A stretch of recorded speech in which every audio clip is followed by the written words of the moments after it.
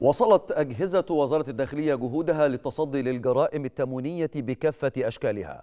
وتمكنت الإدارة العامة لشرطة التموين والتجارة بالتنسيق مع فروعها الجغرافية بمديريات الأمن وقطاع الأمن العام تمكنت من ضبط العديد من قضايا غش السلع وحجبها عن التداول وبيع سلع منتهية الصلاحية.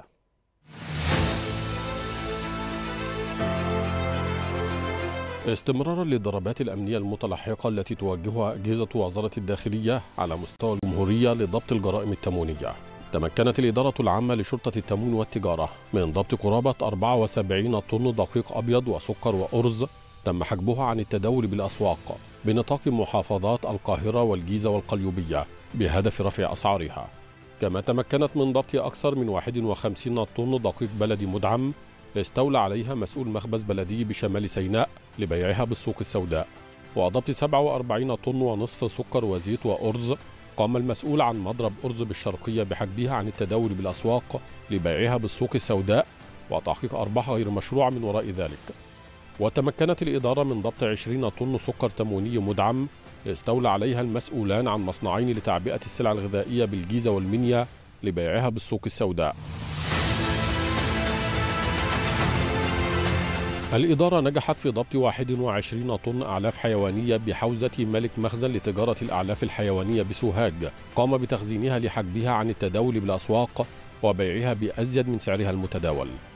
ونجحت في ضبط 609 ألف عبوة سجائر محلية ومهربة جمركيا ومقلدة. تم حجبها عن التداول بالأسواق بحوزة مالك مخازن لتجارة السجائر والأدخنة ببني سويف. وعلى صعيد ضبط السلع الفاسدة والمغشوشة نجحت الإدارة في ضبط أكثر من 132 طن دقيق ومكرونة غير صالحة للاستهلاك الآدمي قبل طرحها للتداول بالأسواق بحوزة المسؤول عن مصنع لتعبئة السلع الغذائية بالجيزة.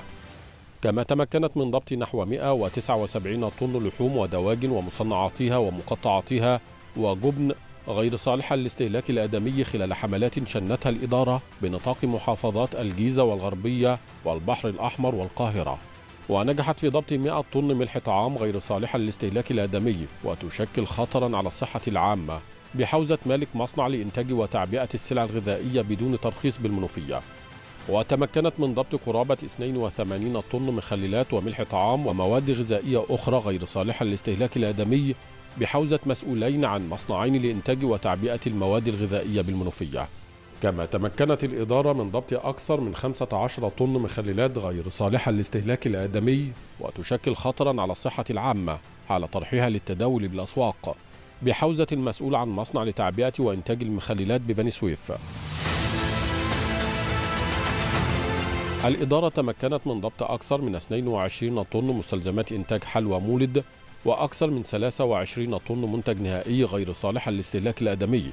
بحوزة المسؤول عن مصنع بدون ترخيص لإنتاج حلوى المولد بالقاهرة.